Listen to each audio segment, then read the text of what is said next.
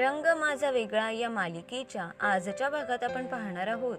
दीपा झालेल्या गोष्टी आठवत विचार करत असते. तर साक्षी येते व कार्तिकी आणि दीपाला स्कूटीवरून घेऊन जाते. मी कार्तिकीचं आजोळ दुरावलं असं म्हणून दीपा रडत असते. कार्तिकने दुसरं लग्न केलं दीपिका कार्तिकची मुलगी आहे असं दीपा साक्षीला सांगते. हे ऐकून का योगायोग आहे हा असं साक्षी म्हणते. मला नाही वाटत कार्तिकने लग्न केलं असेल का कोण जाणे? दीपिका तुझी मुलगी आहे असं साक्षी म्हणते.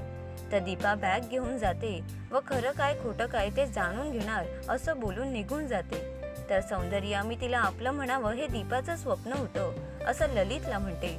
तू डायरी वाचलीस का? असं ललित विचारतो. त्यावर हो पूर्ण असं सौंदर्या म्हणते. तर ही स्टोरी दीपिकाने आज सांगितली असं सौंदर्या म्हणते. स्टोरीच्या प्रत्येक वाक्यात दीपा दिसत होती का योगायोग आहे हा? असं ललित म्हणतो. दीपा हॉस्पिटलमध्ये जाते व डॉक्टरबद्दल विचारते व नर्सकडून नंबर घेऊन जाते. तर हे आयशा बघते. तर नंतर दीपा सविता ताईंच्या घरी जाते.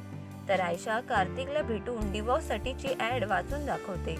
तर दीपा माझी डिलिव्हरी तुम्हीच केली होती. माझं दुसरं बाळ कुठे आहे? असं सविता ताईंना विचारते.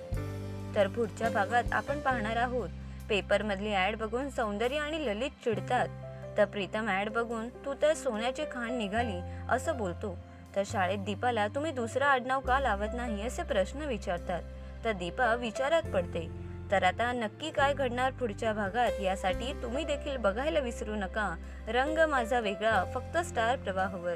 आणि मालिकेच्या अशाच अपडेट मिळवण्यासाठी आमच्या चॅनलला फॉलो आणि सबस्क्राईब करा.